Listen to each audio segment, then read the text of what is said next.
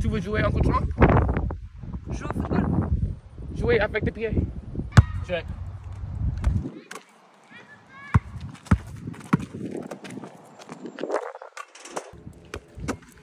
You can't guard me. Let's go. Hey!